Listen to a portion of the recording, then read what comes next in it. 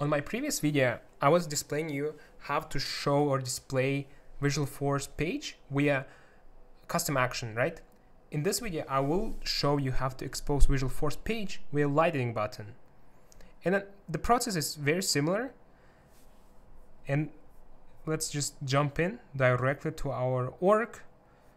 And on the back end, right here, I have, let's look for Visualforce pages Okay, currently I have three, and I actually want to display my first Visualforce component, right? That's what I'm looking for. Let's make sure the controller is applied. As you can see, the controller is displayed for account, which is good. That's what we want, because that's where we're trying to display the Lightning button. So switching now to Object Manager, I will look for account and under button links and actions I will be looking for a new button or link. Here is the label. I will name it Visualforce button. And here I have three sections right? Uh, it's I, either I will display as a page link detail page button or list button. Let's click this as detail page button.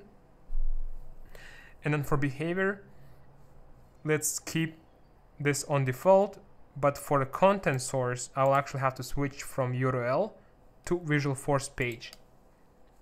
Sweet. Here's the content that we're currently available. The one which I'm looking for is my first Visualforce component. I select that, save this. Good. Now it's there. So the only thing I need to do right now is to display this on actual page layout. Let's click to my page layout, which I'm utilizing. And then for the quick actions and custom links, let's look for mobile lightning actions because we want to override. So the one which I'm looking for is custom Visualforce action. No, that's not the one. Visualforce button let's just keep this here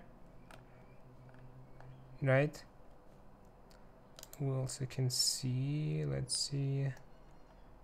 Buttons. Okay let's display this button too somewhere. Custom button. Cool. Save. Nice I will go now to my accounts. Back again to my favorite United Oil and Gas Corp. Let's go to detail section. Let's look for the button which I should have some oh it's right here. Why am I even going? So it's right on the top section. You can see Visualforce button. Let's click on that. And here we go. It's actually launched on a different page right? And it's displaying me right here. So that's how you do launch a Visualforce page with via lightning button. Hope this is helpful. Follow and subscribe and I'll see you guys in the next video.